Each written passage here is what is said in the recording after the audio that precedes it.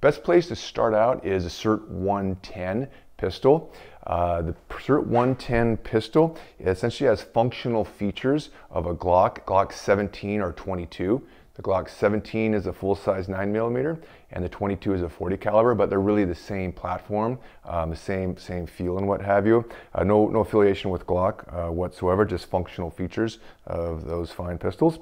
Um, we have a few options here because, in summary, you can have either a metal slide or a plastic slide, and then you can have a green shot indicating laser or a red shot indicating laser. That makes a little bit of a, of a matrix of, of two by two. So there's essentially four options when you jump into a 110.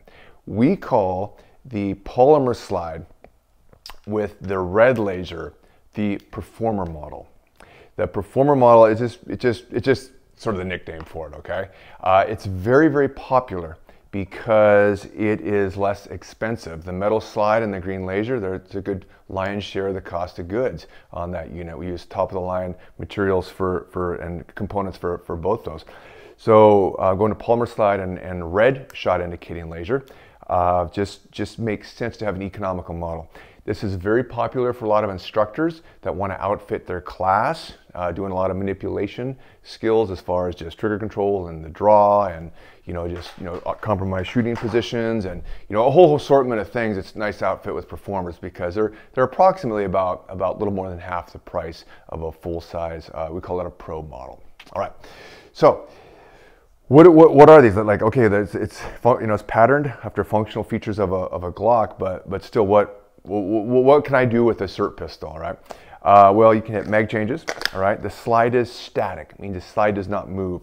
Uh, we reserve training for slide manipulation with your live fire gun, all right? When it comes to training, you have to do on the range recoil management, slide lock stimulus, and malfunction recognition and clearance. Those can only be trained on the range. And any slide manipulation, uh, it really makes the most sense to just to do that with your live fire tool because there's so many things that go along with that, like do you eject a round or does a round not come out? Do You have to have the full range, like airsoft can have a training scar because it's so easy to rack and stuff. So, so that, that's really why the, the slide is static. And also because this is so heavily used in defensive tactics, uh, it can't break. So, um, uh, you know, because those DT guys can actually break live fire guns, they're really getting after it. So static slide, all right, um, there is a take-up laser right, the take-up laser. All of our SIRT platforms um, have a take-up laser. In this case, there's a switch on top in the 110. You pop that back, and what you have is a, I'll hit the camera here, like a red take-up, and then a green shot indication. These are offset from one another. Um, the take-up laser can be aligned with sight picture. Oftentimes it is not aligned with sight picture. Depends how you set up your, your, your training, how you want to set it up, okay? Why do we have a take-up laser? Okay, why does this laser um, take up when, when we prep the trigger like this? You prep the trigger, you push it halfway, this red laser comes on. And then when we break the shot, then the upper green laser, we call that the shot indicating laser, comes on. With, a, with in, in a pro model, it's, that is a powerful green laser. Why do we have that? Because there's a lot to do with pistol craft where the prep is quite important because you want to have proper trigger control of prep break, reset, that means bring the trigger forward and re-prep. So there's a lot of drills where essentially you just want to keep that lower red laser on. All right. When you come into a target, you want to have the trigger prepped up. You want to make sure your finger's not on the trigger at times um, for safety reasons. So, so that, that is why the prep is there. It gives, gives you, there's a lot of drills around that. I'm just explaining the basic the functionality right now. But you can also turn that off. All right. All search, there's a switch on top you can turn that red prep off. So then it's just shot indication. Because sometimes a lot of drills, um, it's just too busy to have the red laser on. Um, so you just want to take it off and just have, just have the pure shot indication for that validation. Okay, so that's the deal with the prep. Also you can do mag changes, all right?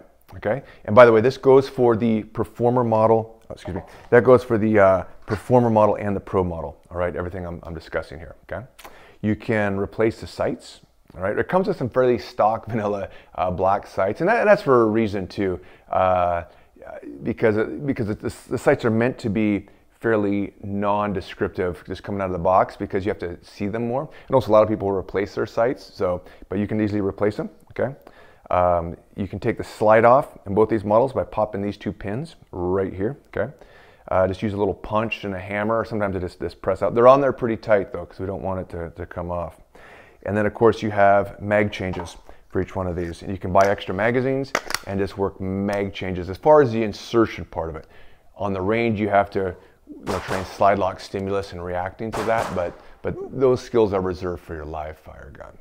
All right, so that is, that is a basic um, um, 110 um, features. You, the trigger is adjustable on these, but that does require removing the slide and adjusting uh, these, um, these little roller pins that live inside, like say right behind here. Okay, I won't do that right now, but you pop these two now this one and, and this one, these two pins out, boom, can remove it and then get in there and, and adjust the trigger, but it's, it's, it's a little less accessible.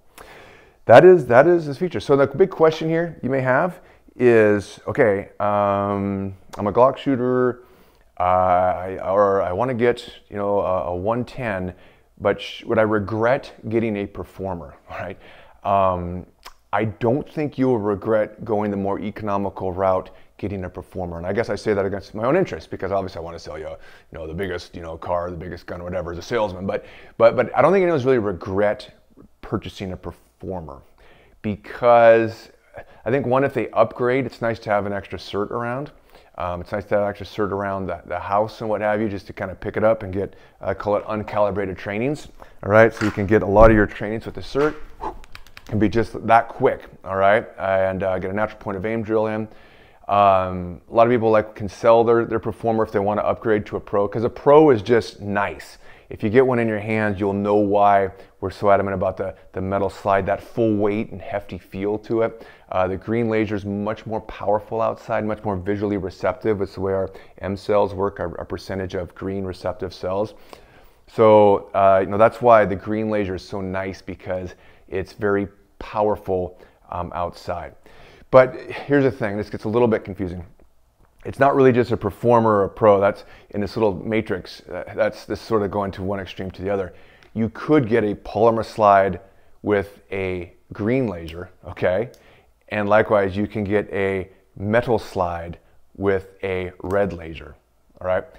And so it, it's your choice, but it, what tends to happen, people either go economical, get a performer, or they go full bore and get a pro. That's, that's, that's sort of where things usually shake out. Some targeting systems, like little targets out there that, that we work with, a lot we work with, only respond to a red laser. So you got to consider that if you're using some targets. And the red laser really works indoors quite well, what have you.